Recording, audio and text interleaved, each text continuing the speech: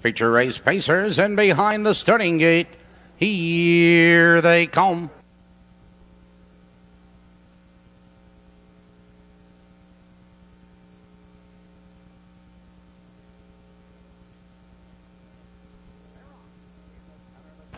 They're off. In the center of the track, there goes Ain't No Stopping Me. Joined between horses, Fantastic, Elegy, Bluegrass. Three horses in a battle for the lead and three wide. Ain't No Stoppin' Me is on the outside with a neck in front. Fantastic between horses. Elegy Bluegrass holds on the inside. These three race as a team, followed now by Lady Anne Matthew.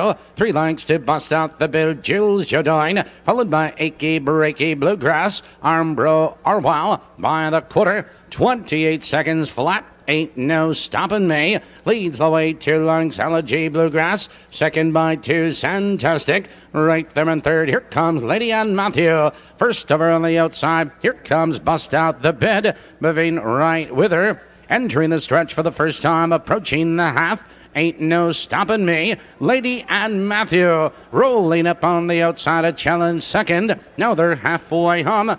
57 and 1. Ain't no stopping me. Into the clubhouse turn, Lady Anne Matthew is on the attack. Second, Elegy Bluegrass. Right with the leaders. Third, Bust Out the Bed. Followed by Fantastic Jules Jodoin. Out of the turn, less than a half mile to go, and ain't no stopping me. As a length and a quarter, Lady Anne Matthew. But here comes Bust Out the bid three wide between horses. Fantastic. Elegy Bluegrass, three quarters, 126 and four. Into the far turn, ain't no stopping me. Leads the way just a neck. Lady Anne Matthews second, Jules Jodoin. Well, fourth, now look at her fly. Now second on the outside. Here they come, turning for home. Here comes Jules Jodoin. Jules Jodoin on the outside now explodes into command. It's ain't no stopping me in second as they come to the wire. Jules Jodoin Ain't no stopping me at the wire.